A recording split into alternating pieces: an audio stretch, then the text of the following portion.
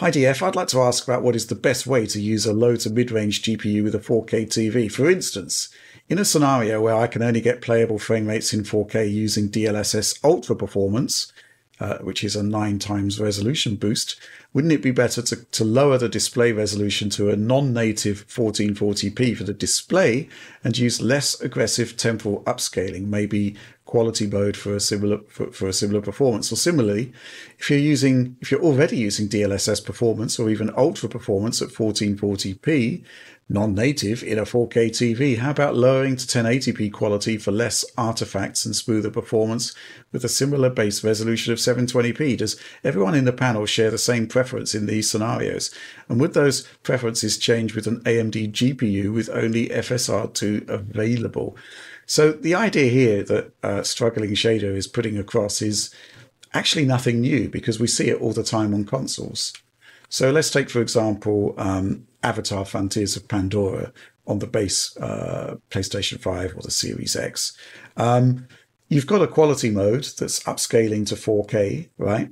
And I think you can say that based on the current sort of PC landscape, Series X and um, PC Jews, PC and PS5 rather, are using kind of low to mid range GPUs, you know, 4060 class, that sort of thing. So yeah, Avatar, um, 4K quality mode, upscaling to 4K. Performance mode is upscaling to 1440p. And then there's kind of just a naive, probably Lanczos upscale from there to 4K. Um, so that's kind of what I think Struggling Shader is suggesting here on how to do it. Um, Oliver, what I mean, I, I think personally that you probably could be using a, a mid-range GPU or a low to mid-range GPU like an RTX 4060 on a 4K screen, but it's probably not the best idea. Uh, but there's yeah. certainly different strategies to be able to make it happen. I, I think it for DLSS at least, I think it depends on the circumstance and it depends on the game and the kinds of content that that game has. I think 4K ultra performance, if you have the power on tap for it, can be pretty reasonable depending on the game. Perhaps not for something like Cyberpunk, but games with simpler content, I think it can look all right. Um, but some of it depends too. It really does depend on how the game is implementing stuff like uh, post processing and whatnot. Because if you're running the motion blur, for instance, at internal res, you really like with Final Fantasy 16 on PC, for instance. I found that that looked really, really bad with DLSS at ultra performance at 4K because mm-hmm. the post processing was like 720p. But when I hiked it up to like 1080p internal, regardless of what the output was, it started to look okay with the post processing there with the motion blur, which is quite heavy in that title. So it really just depends, I think, quite heavily on the game there. Sometimes doing 1440p with a lower upscale factor, i.e., a higher internal resolution, will give you a cleaner visual result with than 4K with a really aggressive upscale factor there. But um, to this person's question, with FSR2, I would definitely say I gravitate towards lower outputs with higher internal resolutions um, when put to this kind of question here, because FSR2 or FSR3 ultra performance at 4K uh, looks pretty bad, mm. but FSR2 balanced or quality at 1440p with like a Lanczos upscale to to 4K there for your display. Um, I think that can look pretty good, especially if you're sitting like a normal distance from a television like that.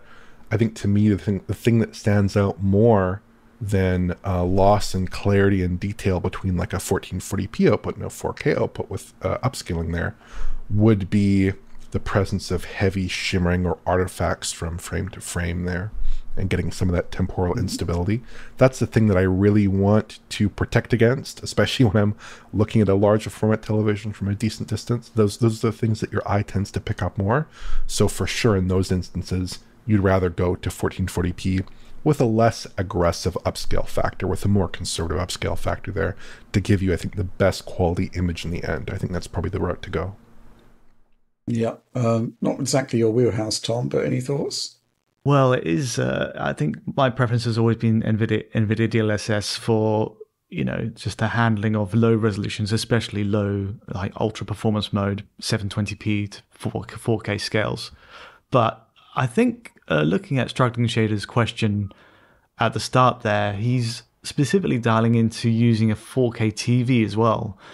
So. Yeah if you're like using a 4K TV, let's like imagine that you're not swapping in another monitor, and you're really like looking to, you know, output at 1440p to a 4K display, and then you have you've got kind of two forms of upscale going on at the same time, right? So it seems like I don't know if I'd prefer that over. I think I'd rather personally target the native resolution of the display uh, as much as possible to avoid the double upscale. But if you're resorting to 720p to get there, it's a, it's kind of a tough call.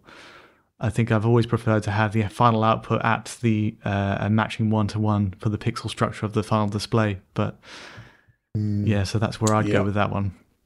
Yeah, uh, my thoughts on this. I mean, uh, Dragon Age, the Veilguard is quite interesting in that you can actually um, set the upscaler to upscale to something like 1440p and then still specify a 4K HUD. That's a really nice thing to have. That's the one disadvantage on a PC of actually targeting the non-native output resolution is mm. that the HUD will be at that non-native um, yeah. output resolution. So That's yeah, Dragon Age has kind of set the set the stage there. But I I don't know. I think that the main issue is addressing the native resolution for the output on DLSS is that there's still quite a lot of internal processing that's going to be happening at native res, like um, native res uh, post process buffers and stuff like that. That's true. Um, I think ultimately you're just going to have to adjust to taste and it probably will change on a title by title basis. Uh, what I have found, and I'm not sure it's a great um, uh, fit for a low to mid range GPU, but targeting 1800p um, from something like a 4070 is, is, is you save a lot of performance on that, and the, the reduction in resolution on the HUD isn't really that onerous. Um, so that's something else uh, on a different tier of card. But you know, yeah, low to mid range. We're talking PS5 quali- uh, level performance. Really, it can be done, but it's it's it's not ideal.